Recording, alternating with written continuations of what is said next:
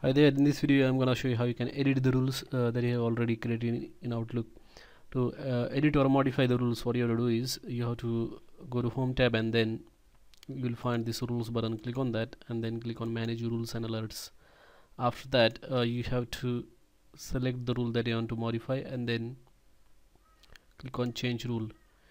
And here you can uh, click on Edit Rule Settings and then you can uh, select uh, condition conditions. Here you can select different conditions then click on next. Marked as importance. Can't save earlier because the value is missing.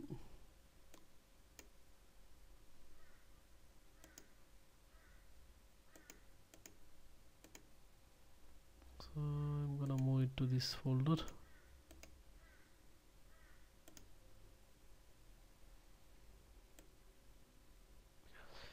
set it click the underline text in the rule description area. So marked as importance. High and move it to the folder. So now if I uh, click on next